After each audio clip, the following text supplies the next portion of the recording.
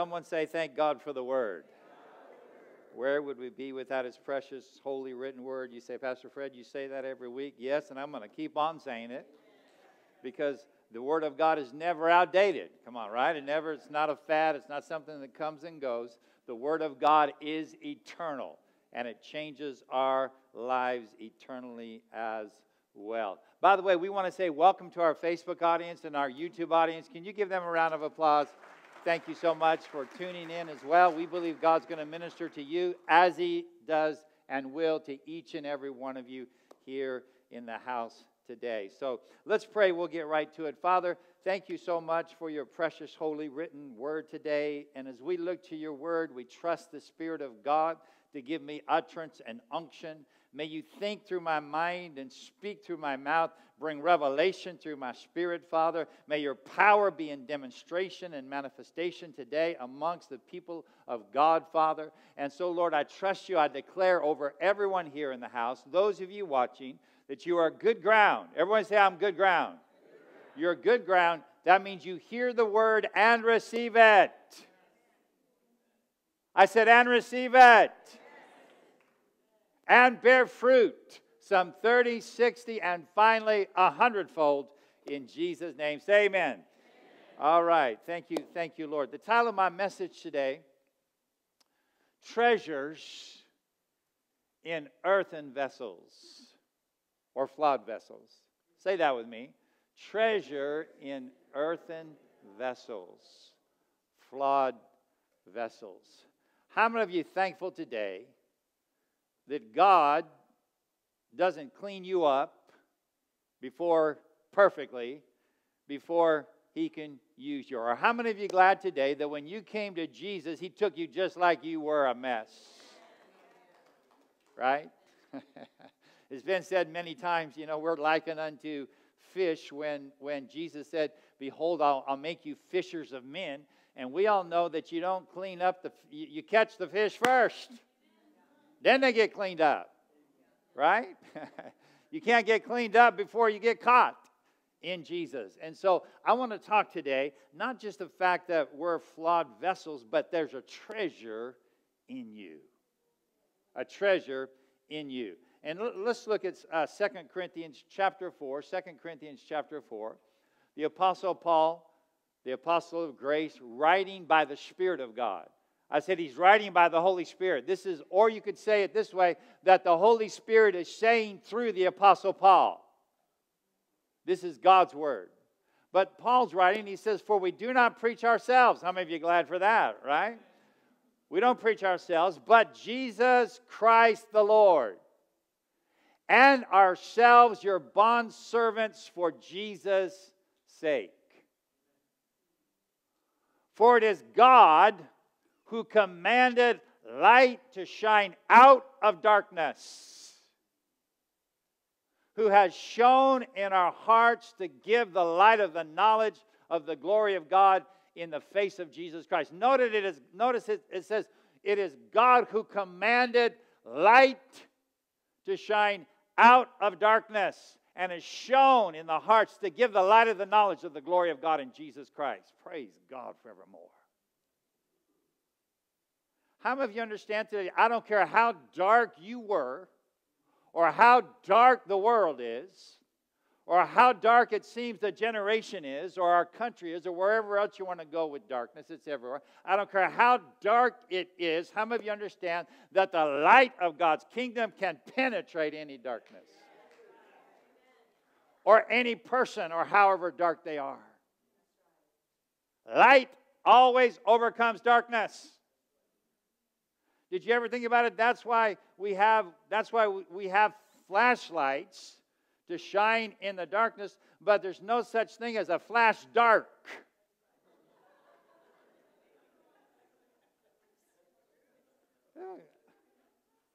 It's daylight out, so you have something and you try to shoot a beam of darkness. It can't, it can't happen. Right? Because light always overcomes darkness. How many of you are glad the day the light of God's grace and glory shined upon the darkness of your heart and transformed you forever through Jesus? But God commanded light to our Lord Jesus Christ.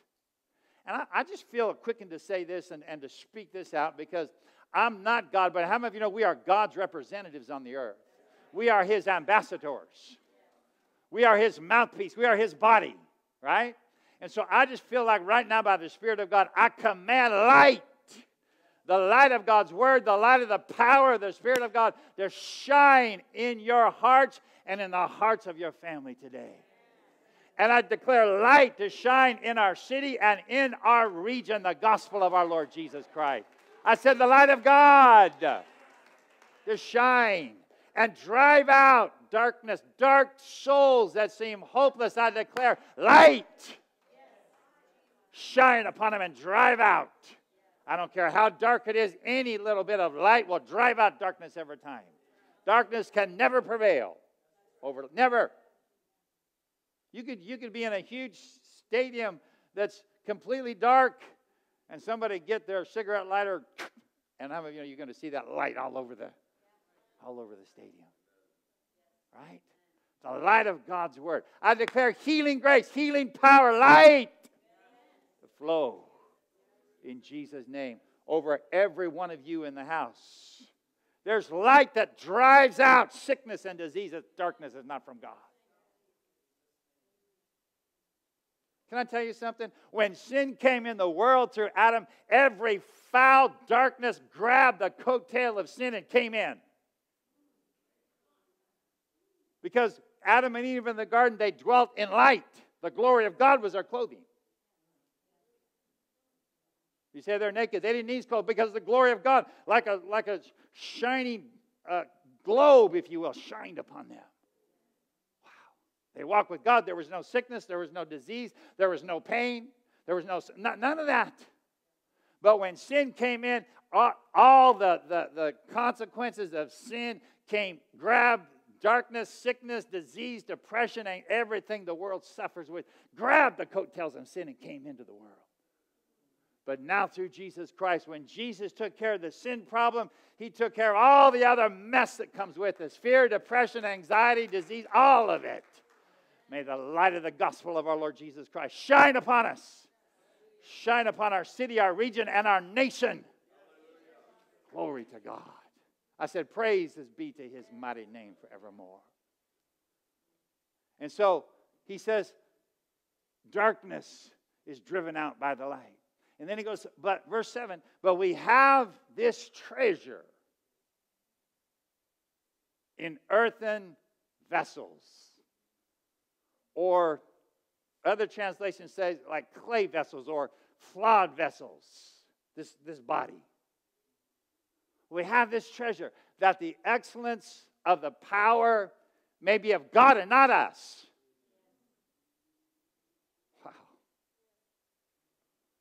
The Apostle Paul, he's getting a powerful revelation. He says, he said, listen, you have, when you got saved, when Jesus, through the power of his blood, the death, burial, and resurrection of Jesus Christ, the fullness, the heart of God is completely satisfied in the sacrifice of his son. I says completely satisfied. In other words, the war between God and man is over. Man striving to, to get peace with God, striving to receive from God. Done. Jesus Christ, the final sacrifice.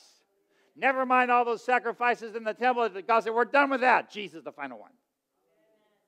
Now, through the blood, your sins, you are righteous by faith, and you have direct line with God. And God no longer said where He fellowships in us. And, and, the, and God is saying to us, when you got saved, when you called on Jesus, a powerful treasure was deposited, deposited on the inside of you. You have this treasure in this flawed, earthen body of flesh and mess ups and not having everything together. But God said, Never mind that. My blood took care of that. I'm moving in to your house, your body, your vessel. No matter how broken, no matter how the mess you got on, God said, when you calls upon Jesus, download. Whew. Please understand, church, because I know, and, and, and too many times we focus on the, the flawed vessel rather than focusing on, on the treasure that's in us. Not knowing that the treasure that's in you will take care of the flawed vessel. I'm preaching good right now, and I'm just getting started. Mm. Do you recognize today? Listen, the entire kingdom of God and of heaven, Jesus told his disciples, He said, Boys, listen, there's something very powerful coming. The new covenant, the kingdom of God. A little while from now, I'm going to the cross. I'm going to be rejected. I'm going to be crucified. They, they didn't get it. And they said, Is the kingdom going to come at that time? Because we, we were tired of these Romans messing with us. Is that when you're going to overthrow the Romans and then we're going to finally have peace and get back to our land and all that? Jesus said, no, that's for another day. That day will come. I said, That day will come. Maybe not far from that. But Jesus said, No, no, no, no. I'm talking about a new covenant where there's something powerful happens. And, and Jesus said, And the disciple, Where's the kingdom? And Jesus said, Listen, in this day of the new covenant, don't look for the kingdom out here. It's not with observation. Remember, he said that? There's the kingdom there. There we're going to do something. Jesus said, No, no, no. No. When that day comes, my death, burial, and resurrection, the kingdom of God is in you. Whew, a treasure. Wow. Jesus said the, the entire kingdom. Think about that a minute, church. All of heaven, all of heaven's resources, everything God stands for His love, His healing, His power, His grace, the Spirit of God, all the fruit of the Spirit, the power of the Spirit, all the promises of God are in you. No wonder it's a powerful treasure. And all you and I need to do is start unpacking some stuff.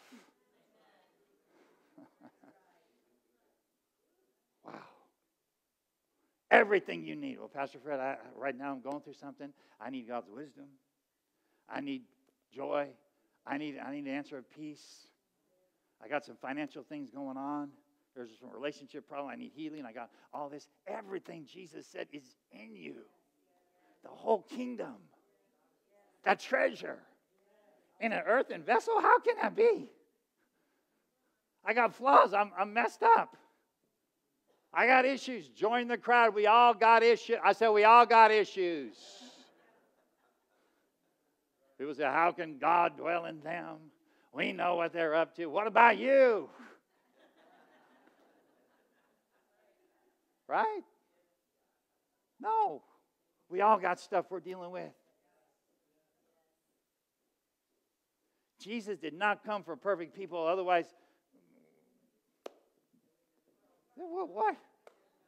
Right? And so we have this treasure in earthen vessels, that the power of God may be in the excellency of Christ. But we have it in earthen vessels, flawed vessels. Do you know the blood of Jesus is so powerful, he don't care how messy you are. He says, if you will trust in me, I'm coming in. I'm moving in into your spirit, man, the part of you that's born again, and all that darkness and all that mess is moving out. I'm cleaning house. When God says He's cleaning house and all things become new, He's talking about in your spirit the kingdom of God comes. You're a new creature in Christ. Your flesh is still there, if you're short before you got saved, you're still short after you get saved. If you're bald before you get saved, you're still bald after you get saved. Right? And we could go on and on, but we'll just stop there. right? Somebody says, Pastor, I'm building a mega church. I got, I, I, I got, yeah. Uh, but some of you got it. But, anyways, but we have this treasure. And so the the treasure is on the inside in your spirit man. And it comes in a flawed, in fact, it just seems like, it seems to me like, and it, you see it in the Word of God, that God seems to relish in taking flawed, weak, broken people, broken clay vessels to shape and use them for His glory. Have you noticed that? in other words, he will take what the world says is a castaway, what the church many even says that God can't use them, and he will shape and mold them into a beautiful vessel for his glory. Why? Because the treasure has moved in. Give God praise right now. Praise his mighty name. That's why you can never say somebody's too far gone, somebody's beyond. If you've seen the movie The Jesus Revolution, you know that that Chuck Smith was like, these hippies are, are they're, they're not, not even the hippies can get saved. They're so, he said they were so far gone. They're, they're, they're shoeless, they're homeless, they're hopeless, and, and not even God can. And his wife, thank God, said, honey, stop that. Nobody's beyond Jesus. And we, if you saw the movie, you know of the beautiful revival that broke out there. But God works through our failures, through our disappointments, and somehow He weaves them into the fabric of our divine destiny and future.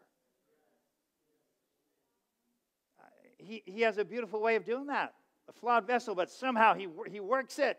I've made mistakes. I'm, I'm flawed. I got issues. Somehow, God can take that and weave that into the fabric of your life and into your destiny and make it all come together for His glory. You say, I messed up. God saw it coming. And He said, just keep your heart towards me. Keep your heart sensitive towards me. And, and, and He'll take even our failures. God saw it coming. He said, Watch what I do now shape into something beautiful in that flawed vessel. Praise God forevermore. 1 Corinthians chapter 1. Uh, uh, watch, watch this. 1 Corinthians chapter 1. Brothers and sisters, consider who you were when God called you to salvation.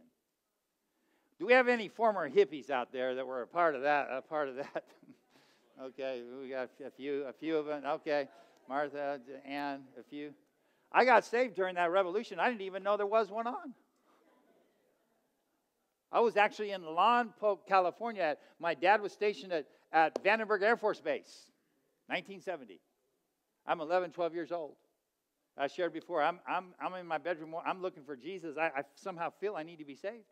And I'm in my bedroom one night, and, and my little brother Greg on the bottom bunk, and God starts visiting my bedroom by his spirit and glory. And I'm like, what is this?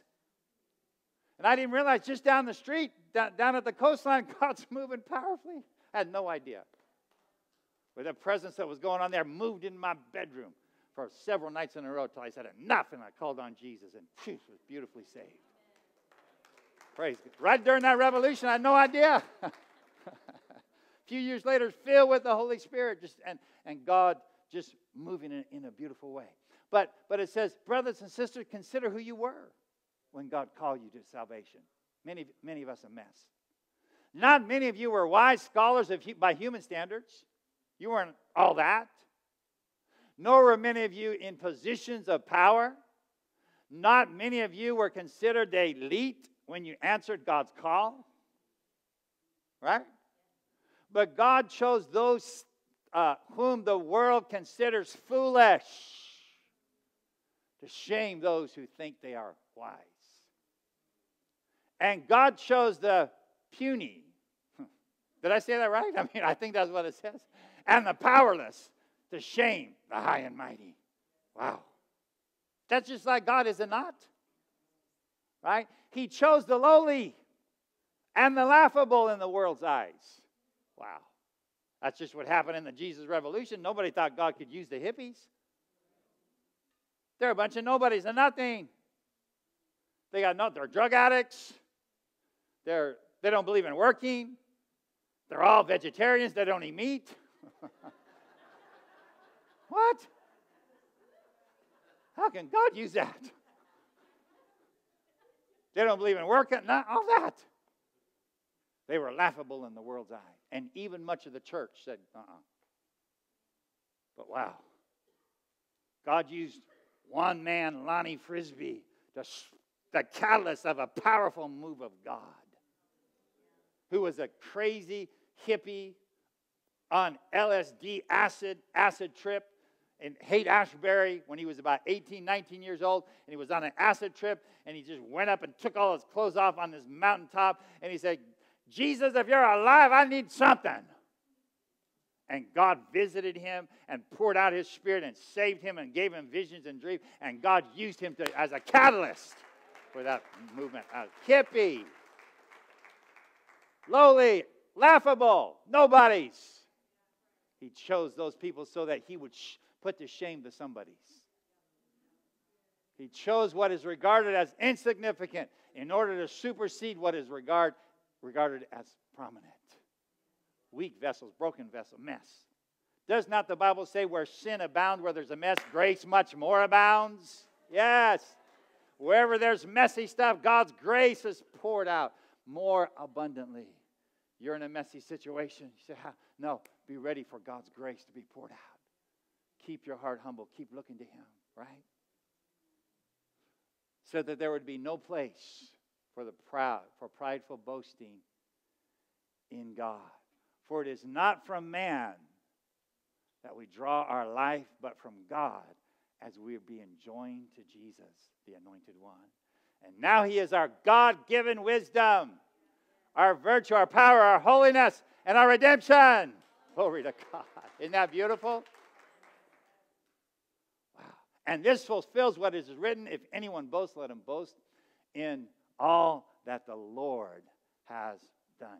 That's why Jesus had a propensity, just a, a I don't know how to say it, but the self righteous, religious hypocrites, Jesus disdained them. Not that he didn't love them, but their self righteous, pompous attitude I'm holier than thou. Look at me, I've kept all these laws, which they did not. I don't need a Savior. I'm my own Savior, basically. I'm self righteous. I get my way on myself, and that's the mother of all sins. I said the mother of all sins self righteous arrogance that I got it together. I don't need God. And it was a stench. And Jesus said, You white. I mean, somebody said Jesus was really hard. Yeah, he was hard on the self righteous, not the ones that believed in him. But Jesus, known as a friend of sinners, he said, sinners and, and harlots and, and social outcasts, he, he was known as a friend to them. Of course, he was persecuted for it. He said, Come, come to me. Come on. I'll give you rest. I'll forgive your sins. So all those that knew they were a mess, they came to Jesus. But the self righteous, holier than thou, Jesus had his harshest words for them. You guys are like a, a you guys are like a dead man in a whitewashed sepulcher. Like looking at a tombstone that has been whitewashed, clean on the outside, but inside full of dead man's bones. Whew. Who's he talking to? Self righteous people. Not those who, who came to him, those who received him. Come on, he loved on them, he forgave them, he ministered to them. Right? And so may we always become fully dependent upon our Lord Jesus Christ. So God has a long history of using flawed and lowly people for his purposes.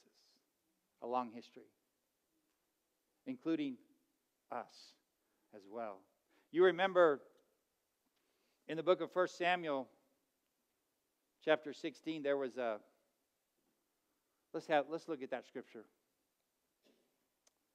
In the days of Israel, King Saul was the first king of, of Israel. And through his pride, through his rebellion, God rejected him. And he told Samuel the prophet, Go down and anoint a young man from the house of Jesse. And the Lord said to Samuel, How long will you mourn for Saul, seeing I've rejected him? Fill your horn with oil. Go, I'm sending you to the, Jesse the Bethlehemite, for I have provided myself a king among his sons. So, if you know the story, you know that Samuel the prophet came to Jesse's house. Jesse had like eight sons. And the youngest son, who? David. David was the shepherd, and he stayed out with the sheep and got messy and took care of the sheep. By the way, in those days, shepherds were considered a lowly occupation. It was almost despising if you were a shepherd. And so the prophet shows up and said, We're going to have a gathering. And Jesse's like, and he tells Jesse, Hey, God's appointed one of your sons to be, I don't know who, but I want you to line them all up in front of me. And I've got this oil in a flask, and I'm going to anoint the next king of Israel among your sons. Jesse, you're awesome. Boys, we're going to have a beautiful time tonight. One of you guys, come on, going to be the next king. And he lined them all, except for David. Never mind him. He, he's, no, it can't be him. And so the prophet stands in front. This is Eliab, the first, the oldest one. He looks tall, look good looking. He says, and, he says, surely, surely the anointing's on him. Samuel the prophet, he gets his flask of oil out, and he says, he's got to be the one. And he pours it, and nothing's coming out. What? And then God speaks. And so it was, verse 6 so it was when they came that he looked at Eliab, the oldest son, and said, Surely the anointing, the Lord's anointing is before him. Nothing coming out. But the Lord spoke to Samuel and said, What? Do not look at his appearance or his physical stature. Because what? I've refused him. For the Lord does not see as man sees, for man looks at the outward appearance, the vessel, the clay vessel, the flaws right? The, the, the, the, the mistakes. But God looks at the heart. Wow. And so Samuel goes through all of them. Surely the anointing, all seven of them, nothing, and the oil will not flow. Finally, he says, I'm pretty sure I heard God. Is this all your sons, Jesse? Well, actually, there's one more, David, out there, but you know, he's not, no, can't be him. He's young. He's, he's just he's, he's out there taking care of sheep. He's stinky. And the prophet said, We will not sit down until that boy shows up. And Jesse's like, Boys, go get that. Go get your kid brother. Really, Dad, he stinks. He's got, he's got sheep poop all over him. He's got he's a mess. You know, and, and this is embarrassing. They bring the kid in all smelly, and, and, and Saul takes one look at that boy. That's all he is, he's a young teenager. And he says, yeah, surely the anointing. And he takes the oil and says, we'll find out. And he turns over and just pours down all over David. God anointed him to be the next king. The, the least likely. How many of you understand God uses the, the least likely to do the unusual? We see it all over the Bible. We see it in moves of God all over the earth. And so when you feel like you're disqualified, you feel like I'm the least likely in my family, like, like Gideon, I'm, I'm the least one. Get ready for God to blow upon your life and to use you in unusual ways that you've never been used before. Give God praise right now. Thank you, Lord. And so I remember I remember when God first I felt a stirring to the ministry in my own life. Uh, You've heard me tell the story. We were on working on a ranch just five miles out of town here. And this would have been like in the mid 80s. And I was fixing fence after a February storm way out in the West 40. And God just started speaking to me about this is not your life's purpose. And I want you to go and go to Bible school and prepare for the work that I have for you for, uh, for, for the kingdom. And, and, I, and I remember instantly having thoughts in my mind. How many of you ever thought you can think a whole conversation in a split second? You can think like a two paragraphs like a split second in your mind. And in my mind, when God began ministering, in my mind, I'm thinking, I, I, I don't qualify. It's, it just came across me. I don't qualify because um, um, nobody, nobody on my, my family, either side, my mom or dad that I know of, none of them are, are, are in the ministry I don't even have any missionaries that I know of. Nothing. And in fact, my mom's side of the family, my mom's parents owned a tavern when my mom was growing up a bar. And, and mom tells stories that when she was a little girl, she would always almost live at the tavern because the tavern stays open at night where crazy stuff goes on. And she said she remembers that as a little girl, her parents told her and her little sister, go down to the basement and, and, and try to go to sleep because we got business up here. And mom remembers hearing the brawling and the fights that would break out and the swearing and all the stuff, the carnage that was going on in that tavern. And mom looks back on it and she says, Thank God, because any of those drunks could have walked down the stairs right to where she was. And who knows? And mom says, I'm, appalled at that. But my mom was invited to a, a, a a youth camp when she was a teenager, and her and her sister went to a youth camp and got saved. Praise the Lord. And she's been serving God ever since. And by the way, my grandma and grandpa, before they passed, they got saved. So praise the Lord. They're all in, they're all in the kingdom of God. But but I was thinking in my mind, I don't qualify. Nobody in my family is serving God. But in in that moment, I heard God just spoke in my spirit and I wrote it down. This is what I felt in just a few seconds. This conversation happened. God said to me, If I qualify and call you, no one or nothing can disqualify you. In other words, the, if God calls, if God equips, if God anoints, no one or nothing, no devil can stop it. That's a shame for every one of you that God has equipped and anointed and called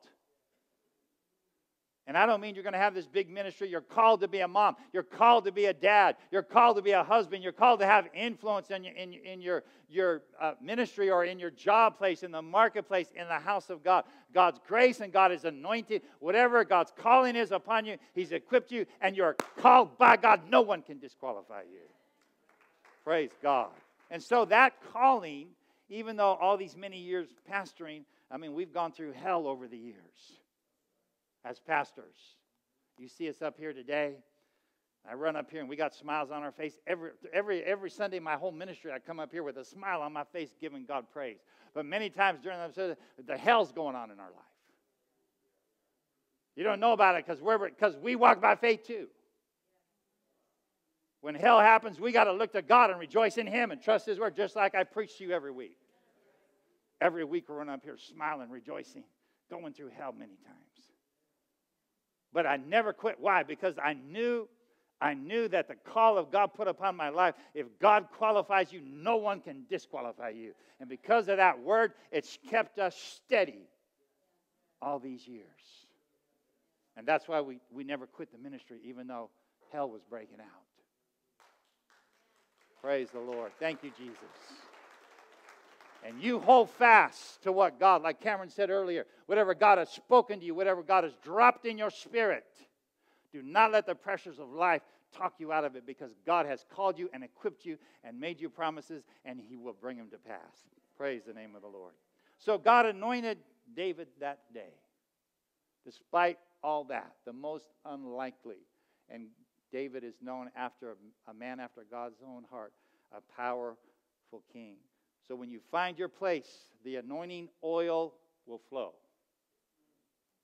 I said, when you find your place where God's put you. Some of you are new to the house, but you know God's planted you here. The anointing will flow here. I hope you don't mind. I just I just met this couple, Reed and Stacy, right right over here. Just visited with them first time here, and they said, Pastor Fred, we feel we feel we feel God's, everybody's reaching out to us. We feel God's presence. They just showed up. And but when you find your place, that the oil will start flowing. No more of this going place dry. What? Not, not flowing for me. Now maybe someone that's fine. But when you find your place, when you find where God wants you, the oil of God's power and the Spirit of God will start flowing. Alex and Martha, you shared me before church. When you came, you felt God calling you, and the oil started flowing in your life, touching every area of your life. Praise his mighty name. Even though it was still many years before King David, be, David became king, and he went through some stuff, he never forgot that day. The prophet, oil all over his head, the anointing. And the, the Spirit of God came upon him from that day forward and helped him to fulfill his destiny. Praise the Lord. I'm almost done here. You remember the Apostle Paul. How many of you know before the Apostle Paul became the Apostle of Grace, who wrote over half the New Testament? He was an enemy of the church. He was feared by all. He caused havoc in the church, persecuting he consented to Stephen, the first martyr, to his death. He had murder in his heart.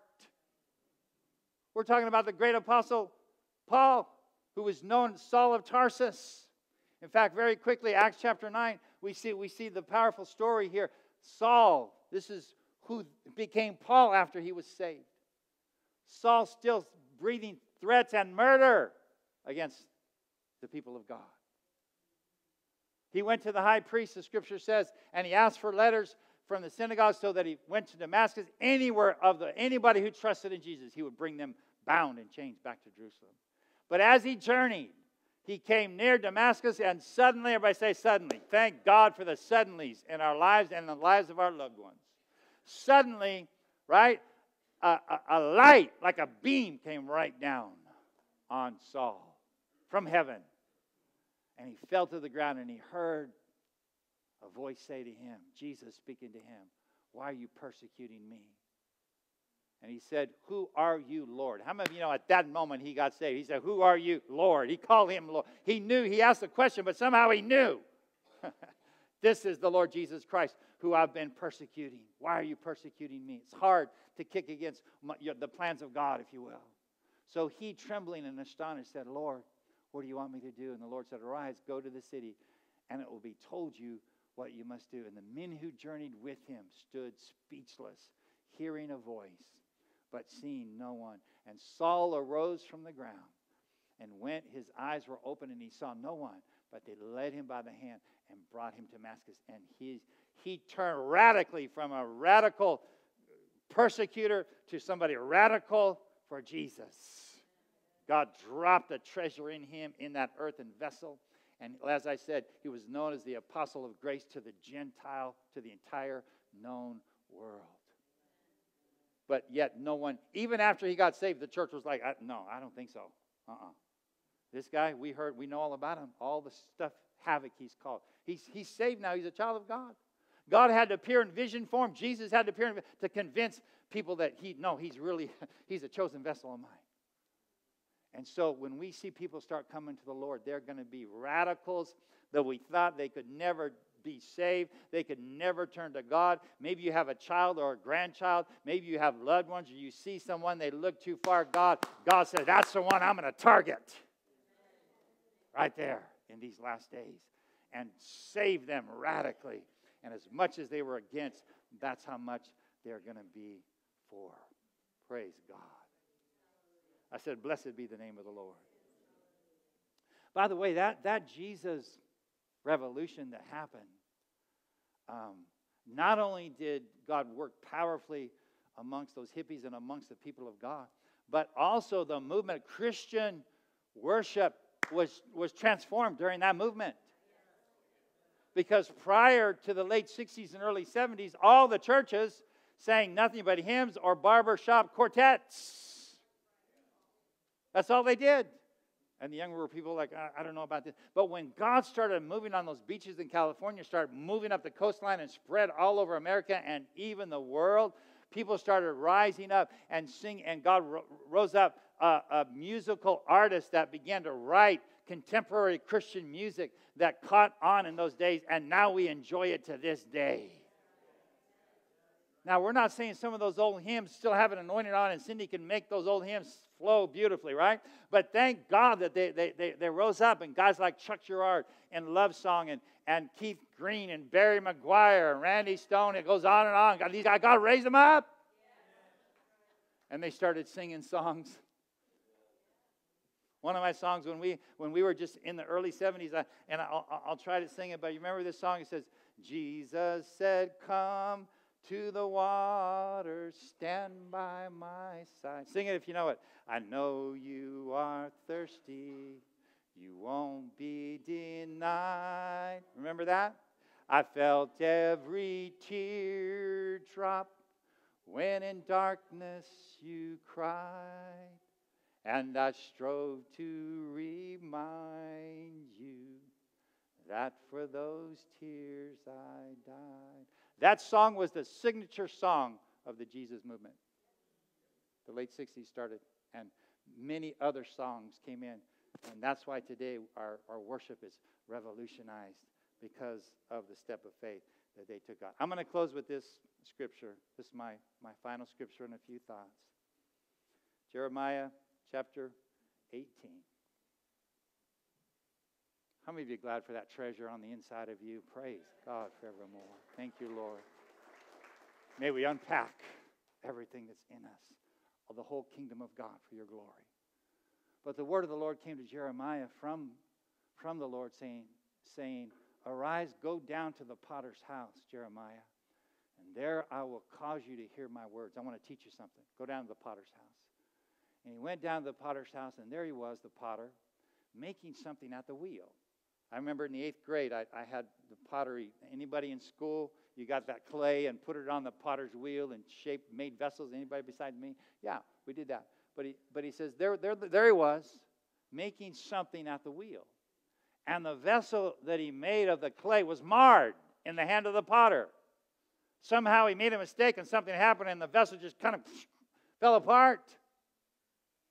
How many of you understand today that I don't care if you've been marred, I don't care if you've made wrong choices, I don't care if you've turned your back and you've gone your own way you've had horrible seasons in the past and things have happened. You're like the vessel that has been marred. But does, did the potter just take that clump of clay and throw it out and be done with you? No. The scripture said he, he the potter, the potter, potter made it again into another vessel. As it seemed good to the potter to make. As I said, despite our failures, our mistakes, and it's marred and I messed up. God says, okay, let me get a little water here because you need water to soften that. The Word, the Holy Spirit. And God says, come on, receive my Word, receive, receive my. Let me shape your life into something beautiful that has been a mess as I want to do it. Not as you want, but as me. Then the Word of the Lord came unto me, saying, O house of Israel, can I not do with you as this potter, says the Lord? Look, as this clay is in the potter's hand so are you in my hand. And I want to close by saying, listen, there might be some of you here today and you just feel like you've been that clay and you've gone your own way and you feel like there's the clay of your life has been marred. But God says, let me come to you. Receive me, and I'll, I'll mold you into a vessel of something beautiful, and I'll put a powerful treasure in that vessel in your life that will draw out all the richness that God has for you. Father, thank you so much for your word today, for these powerful truths.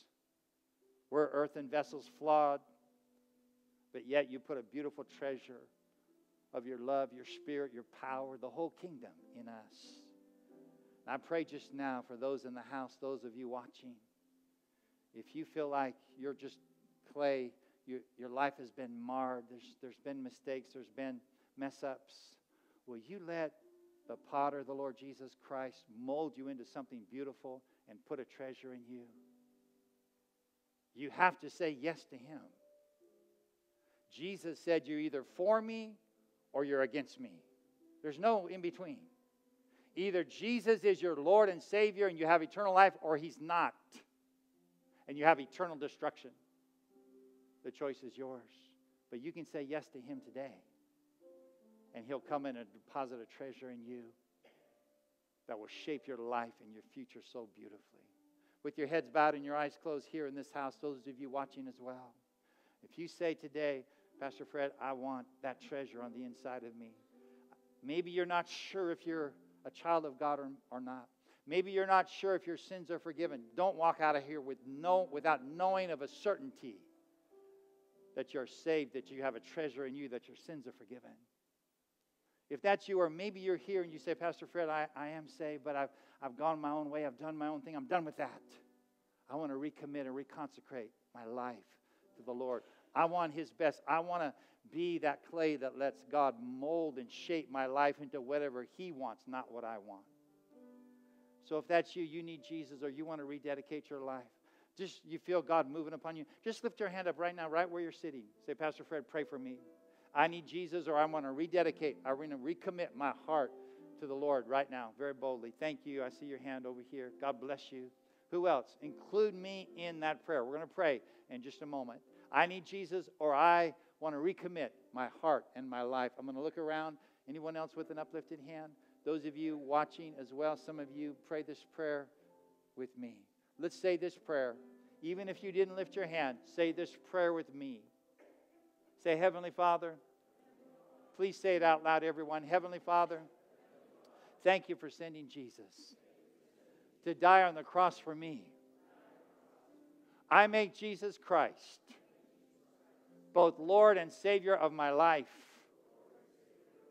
I believe in my heart that God raised him from the dead. Thank you, Lord, for a new beginning and a fresh start in Jesus' name. Amen. Can you give a round of applause? Come on, those that called on Jesus. We're rejoicing with you. Thank you so much. That is the most powerful uh, experience you could ever have. We're so proud of you. Please keep coming to church. Please bring your friends and your loved ones. They need a touch of Jesus as well. And thank you again for letting Cindy and I be your pastors. We know you can go to church wherever you like.